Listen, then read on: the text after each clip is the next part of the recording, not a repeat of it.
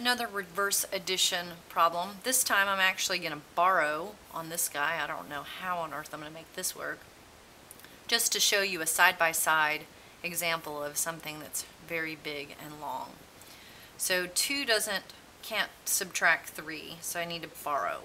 So this becomes a 0, and this becomes 12. So 12 minus 3 is 9. Well, 0 can't subtract 4, so I have to borrow from this guy but there's nothing to borrow. So I have to go here, but there's nothing to borrow. So I have to go here, to, but there's nothing to borrow. So I have to go here. So this becomes a 6, and this becomes a 10. Well, I got to borrow one for here, so this becomes a 9, and this becomes a 10. But I'm borrowing one from here to give you a 9, so this becomes a 10. I'm borrowing again. Yes, so I'm borrowing again, so this becomes a 9, and this becomes a 10. Good lord.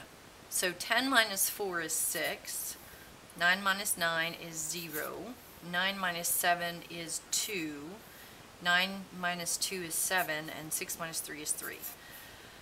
Okay, this to me is just, wow, ouchie. Let's go over here and do some reverse addition. So 3 plus what gives me 2 or 12? 3 plus 9 is 12, carry the 1. 4 plus 1 is 5, plus 6 is 11, carry the 1. 9 plus 1 is 10, so this is already, I don't need anything to get me to 10, carry the 1. This is 7 plus 1 is 8, plus another 2, gives me 10, carry the 1.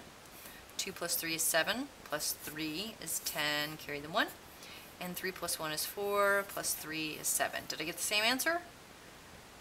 No. How did I miss that? 2 plus 1 is 3 to get to 10. Oh, I need a 7 there. Which is 10, carry the 1, and I'm still good.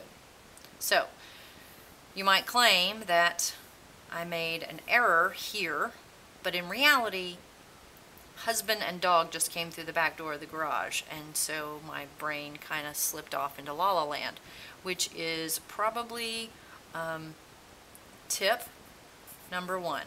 Math is not a four-letter word. Tip number one. Don't get distracted in the middle of a problem. Because if you do, your brain goes someplace else. So if somebody interrupts you in the middle of a problem, scratch it all out, start over. We'll do another example on another video.